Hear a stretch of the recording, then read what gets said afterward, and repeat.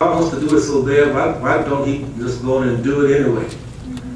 Uh, but there is a Godward side, there is a manward side to every battle that we face, every trial that we have, every uh, victory that we, uh, we win. There is a God side of it, and then there is a what? Man side. In other words, God has done all that he has, that he's going to do when it comes to the provisions that he has made for us through Christ. You know, Christ settled all these issues long before he even created mankind. The Bible says that Christ was uh, uh, a lamb slain before the foundation of the world. In other words, all of this was provided. Every need that we would ever have was provided before man was even created.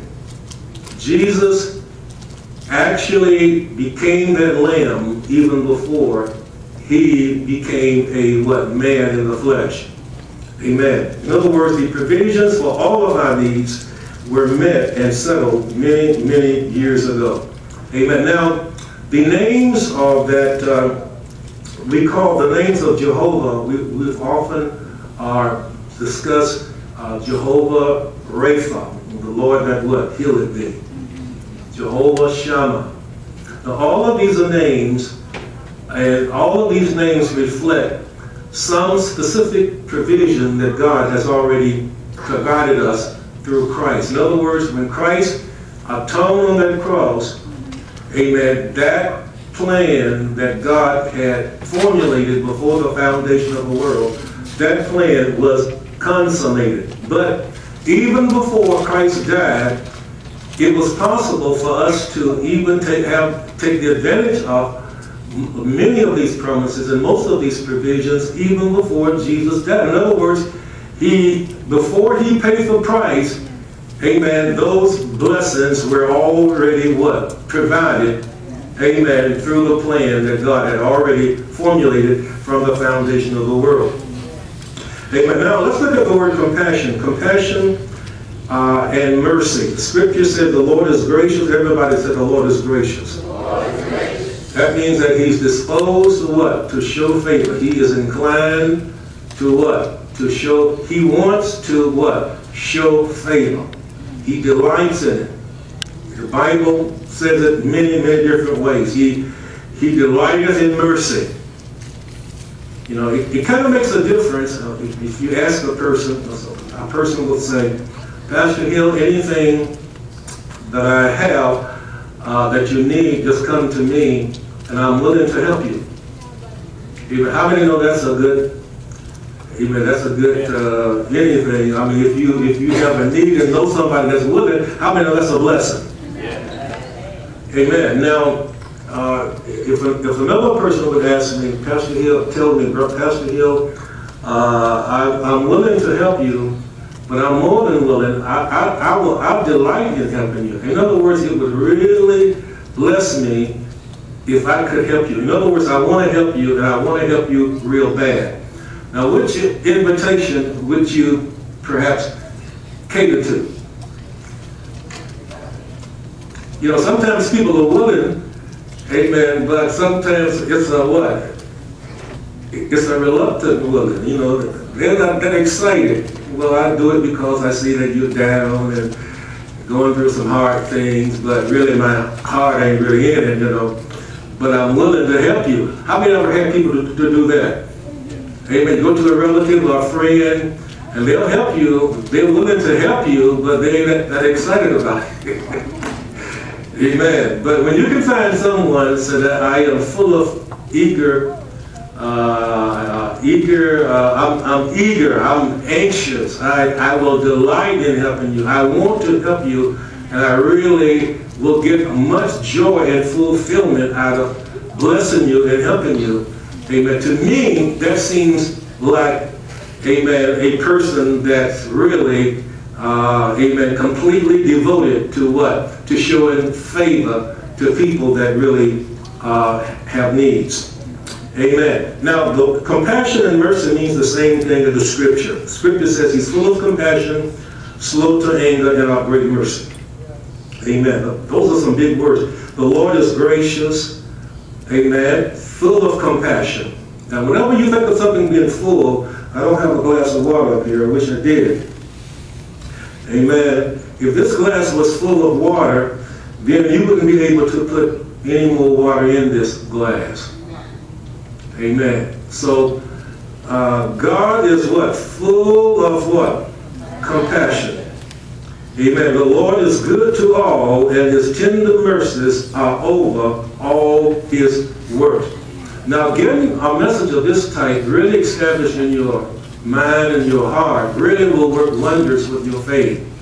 Amen. But it takes time to go through scriptures that God clearly states, amen, his disposition of those that have needs in all different areas and dimensions of their lives. But the scripture does say the Lord is good to all, and his tender mercies are over all his works. Now, throughout the scripture, compassion and mercy means the same thing. The Hebrew noun translated mercy is translated as compassion all through the Old Testament. The Greek verb translated have mercy is also all through the New Testament. New Testament translated have compassion. All right, so we can see that compassion and mercy basically means what? The same thing. Amen. The Greek adjective defined merciful is also defined as compassionate. God's greatest attribute is God's love. Amen. Everybody just said God's greatest attribute. Amen. Is God's love. And compassion is actually God's love in what? In action. Amen. Now, to break it down a little further, compassion is defined as to love tenderly.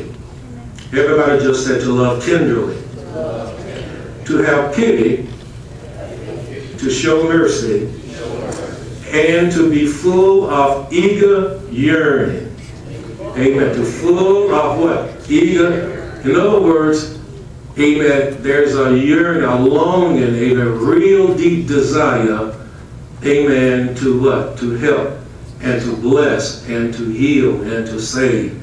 Amen. That describes uh, how the compassionate heart of God actually is. Amen. To amen. Compassion means to love tenderly, to have pity, to show mercy, and to be full of eager yearning. Now, the uh, scriptures, if we could go to the scripture, let's go to uh, uh, Nehemiah, and you'll see uh, God's mercy or God's compassion in operation.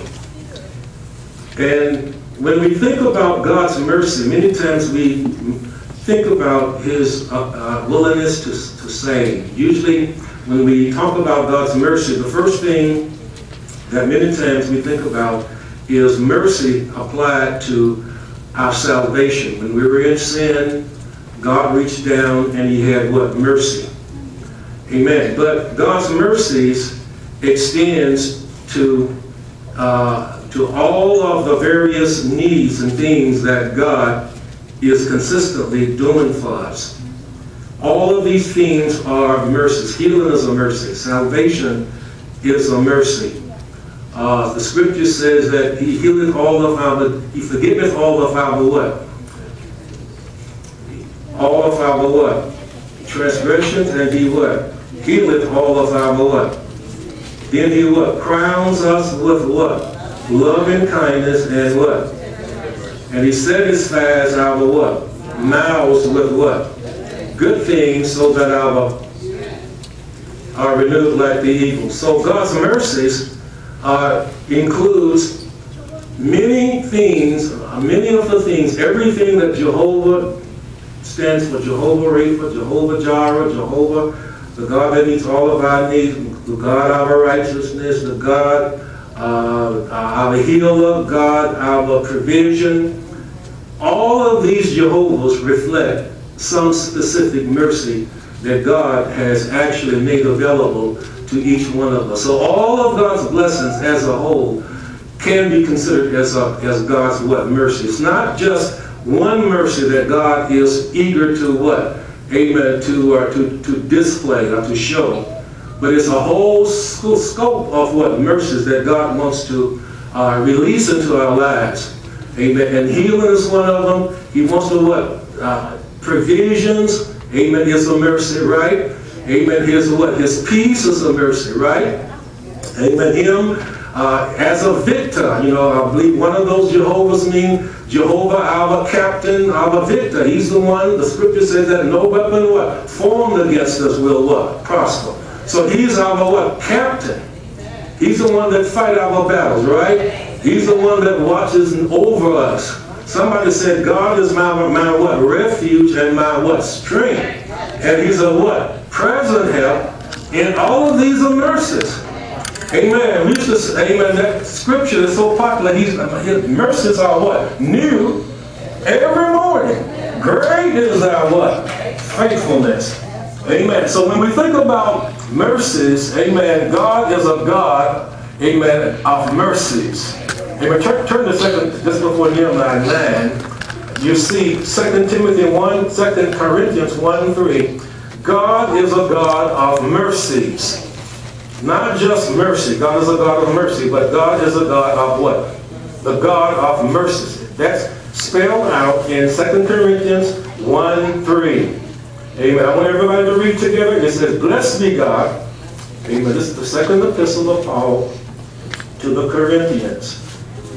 Blessed be God, even the Father of our Lord Jesus Christ, the Father of mercies, and the God of all what? So God is a God, Father of what? Mercies. Amen. Scripture says every good and every what? Perfect gift cometh from above. Hallelujah. Praise God. From the Father of lights, with whom there is no variableness, neither what? Shadow of turning. Turn to Nehemiah 9. Nehemiah 9. Amen. Praise God. This is to show the mercies of God in the Old Testament, and, and this reflects how God uh, uh, provided, how He blessed, how He went alongside, how He uh, met the various needs that the children of Israel had during the 40 years in the wilderness. Amen. And all of the things that these mercies that God displayed towards the children of Israel are mercies that God is concerned about uh, revealing or releasing into our lives today. So it's not just one or two mercies that God is concerned about. God is concerned about what? Every aspect of your what? Wholeness. Amen. He's concerned about what? Every need. That's the reason why the scripture says, casting all of our what? Care upon him, for he does what? He cares for us. Amen. He's touched with the feelings of our infirmity. Whatever we're dealing with and going through, whatever challenges, whatever battle we're going through, God is what? Touched with the feelings of our infirmity. Whatever we're going through, God is concerned. Amen. That is the reason why he paid the price to what? To deliver us from everything that the enemy could work against us. He came that we might have what? Life, and that we might have life what? More abundantly. All right. This is Nehemiah 9 7. Let's read it together. It says, Thou art what? The Lord, the God who didst choose Abram and broughtest him forth out of Ur off the Chaldees, and gave him the name of Abraham, and foundest his heart faithful before thee, and madest a covenant with him to give the land of Canaan, and so forth.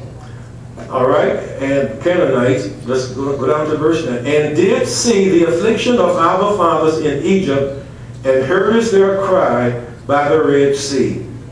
All right, so that shows God's compassion. When they were down in Egypt, under hard taskmasters, weeping and crying, Amen. The scripture says that God saw their affliction and he heard their cry, amen, by the Red Sea. All right? Verse 10, let's read it together. And show us sign and wonders upon Pharaoh and on all of his servants and on all of the people of the land. For thou knewest that they dealt proudly against them, so didst thou get thee a name as it is this day. Now what did God do in verse 11? And thou didst divide the sea before them, so that they went through the midst of the sea on the dry land. And their persecutors thou threwest into the deeps as a stone into the mighty waters. All right, verse 12. Moreover, thou did what? Leddest them in the day by what? See, that's God leading them. And in the night by a pillar of fire to give them light in the way wherein they should go. I mean, this is just a history of God's mercy. Thou camest down also upon Mount Sinai, and spakest with them from heaven, and gavest them right judgments, and true laws, good statutes, and commandments, and madest known unto them thy holy what? Sabbath, and commandest them precepts, statutes, and thy laws by the hand of Moses thy servant. Gavest them bread from heaven, those provisions for their hunger, and broughtest forth water for them out of a rock for their thirst, and promised them that they should go in to possess the land which thou hadst sworn to give them. Okay, watch verse 16. But they and our fathers dealt proudly and hardened their necks and hardened not to thy commandments. Hearken it not to thy commandments. Verse 17. And refused to obey, neither were mindful of thy wonders that thou didst among them, but hardened, hardened their what? Necks. And in their rebellion appointed a captain to return to their bondage. But thou art of God ready to pardon, gracious and merciful, slow to anger, and of great kindness, and forsookest them not. They took God through all of those changes, but the Bible says he was what? He still pardoned, he still was gracious, he still was merciful, he was slow to anger, and of great kindness, and forsookest them not. All right, let's look at verse 18.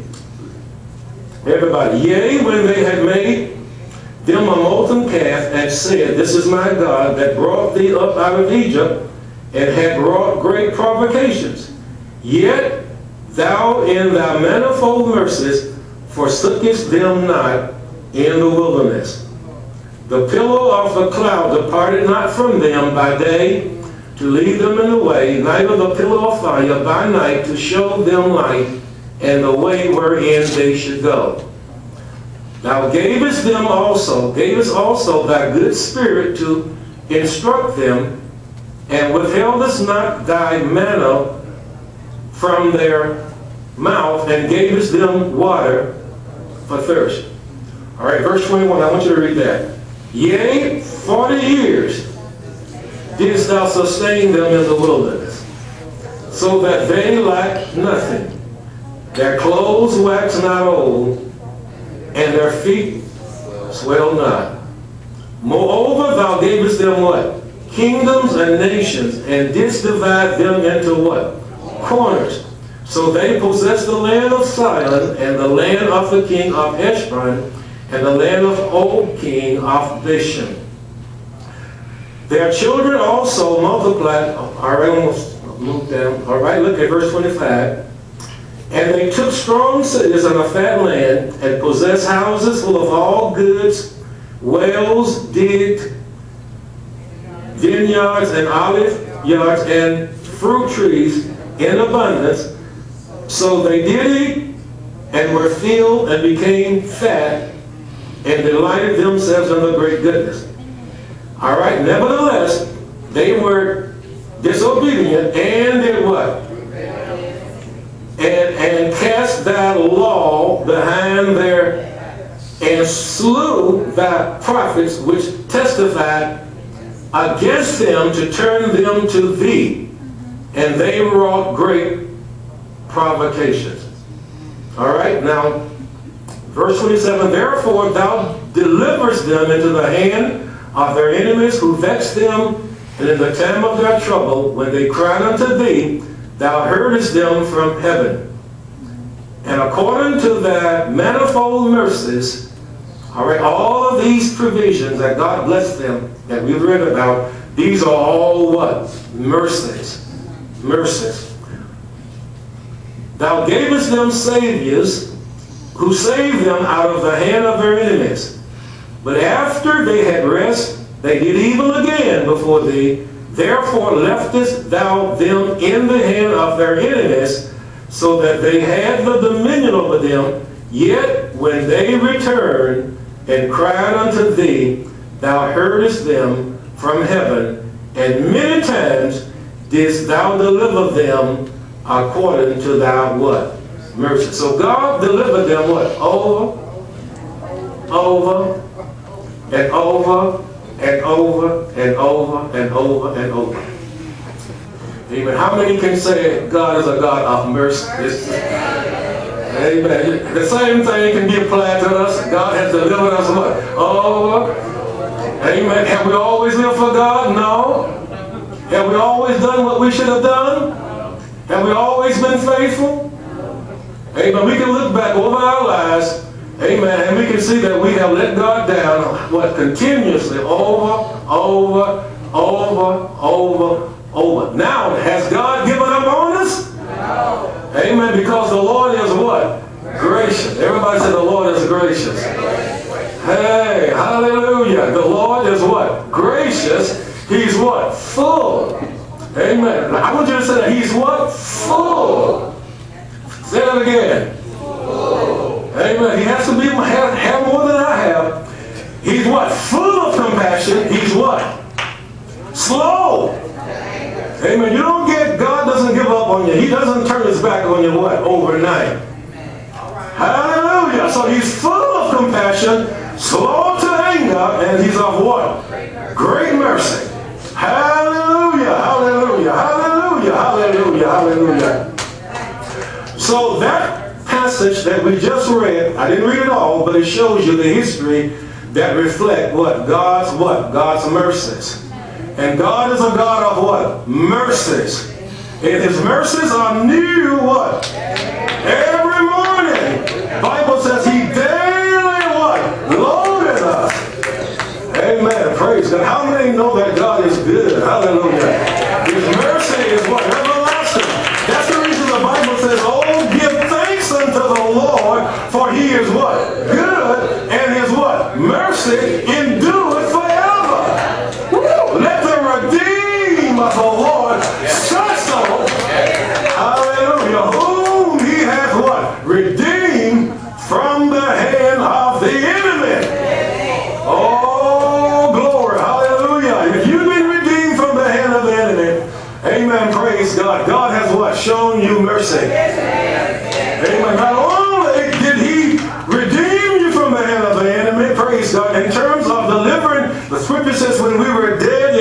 trespasses and sin, amen, Christ did what? Amen. He had mercy. Christ is what? Rich in mercy. Oh, hallelujah. He commended his love toward us while we were what? Yet sinners. He died for us. Hallelujah. Praise God. How many can thank God for his mercy?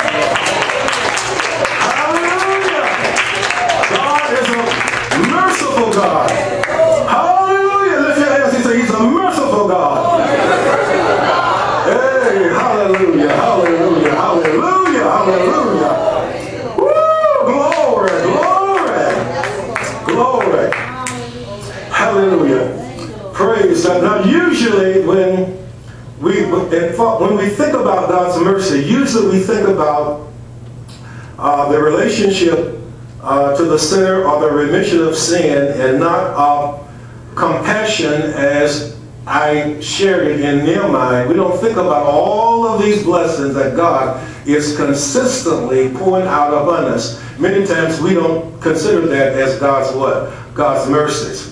Amen. Praise God. But we want to be aware that God is what? A God of what? Mercy. He's full of compassion. He's slow to anger. Amen. And the scripture says, and of great mercy. Amen. Now, A number of times when people were seeking healing, they asked for mercy. They asked for mercy because mercy is a, a, a healing is a what? Is a mercy. Amen. Psalms 103, just turn there just for, for, for a moment. Amen. Psalms 103, it mentions about that we are to bless the Lord and to, amen, and, and bless him for all of his benefits. He said, bless the Lord, O my soul, and the what? Forget not all of his benefits. See, God's benefits are so numerous. And that's the thing that we are to what? To consistently bless the Lord for. Scripture says, from the rising of the sun to the going down of the same, amen, we ought to what? Praise the Lord. Why are we praising the Lord? Because of his what? Benefits. Bless the Lord, O my soul, and do what? Forget not all of his benefits. Amen. Bless the Lord, O my soul, and what? Forget not all of his benefits. Now, look at the benefits enumerated in Psalms 103. Amen. Bless the Lord, O my soul, and forget not all of his. Now, the benefits in Psalms 103 who forgiveth all thine iniquities, who healeth all thy what? Diseases. Now, iniquities, forgiving iniquities, and healing all of thy diseases are both mercies, amen, that Christ has already what? Provided. Hallelujah. Scripture says in verse 4, who redeemeth thy life from what? Destruction. Who what? Crowneth thee with what? Love and kindness and what? Now all of these are what? God's mercy. He forgiveth all our iniquity. In other words, he consistently forgive all our what? Iniquities. Who healeth all thy what? Amen. He keeps on what? Healing all of our diseases. Verse 4, who redeemeth thy what? All right? Who redeemeth. Now this is a continual thing. He forgiveth all thine iniquities. Iniquity after iniquity, sin after sin after sin after sin. God is a merciful what? God. Amen. Who forgiveth all thy iniquities, who healeth all thy diseases, who redeemeth thy life from what? Who crowned thee with love and kindness and tender mercies. Verse 5, everybody.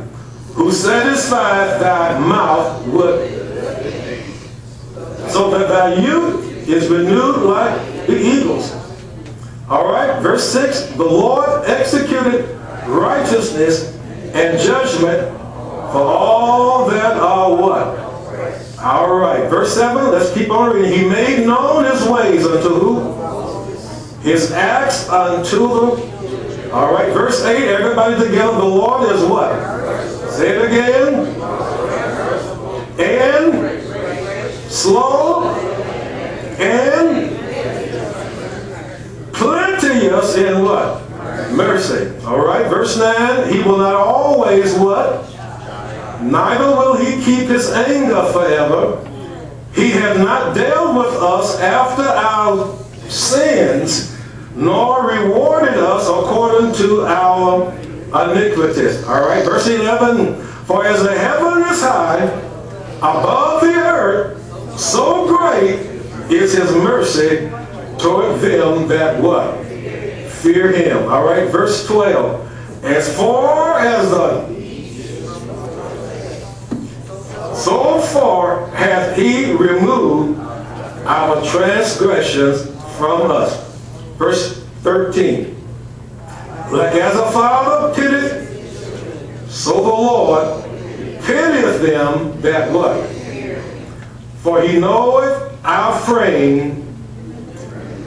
He remembered that we are what? Verse 17. But the mercy of the Lord is from what? Everlasting to what? Upon them that fear him and his righteousness unto children, children. All right? Verse 18. To such as keep his covenant and to those that remember his commandments to do them.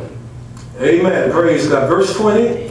Bless the Lord, ye his angels that excel in strength, that do his commandments, hearkening unto the voice of his what? Word. Bless ye the Lord, all ye his hosts, ye ministers of his that do his pleasure.